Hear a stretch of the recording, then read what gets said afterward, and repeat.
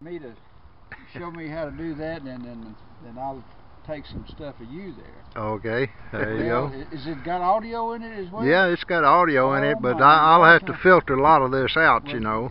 G- Give me some So- time to think about something witty. Yeah, to just keep on holding it down. No, no, just let it up. Okay, the little red light's still blinking there. That's, that's what you want. All right, well, you got something witty you want to say? Well, I, I want to say that I, I know uh, a lot of people here in City Park because uh, I'm kind of like a, a potentate. Now, I understand that. And uh, I have no, I want to get this on record right now. I haven't really been honest with you. I'm, I'm out here on the behest of the Attorney General. Oh, my and, gosh. uh, I gotta, I gotta turn this in. Is, what, has he said something? Somebody reported me about having something here that I wasn't supposed to have? Um, You've been an illegal landscape bill. What, what are you doing? Is this a merry-go-round? well, uh, I'm trying to get part of that thing in the picture there, see?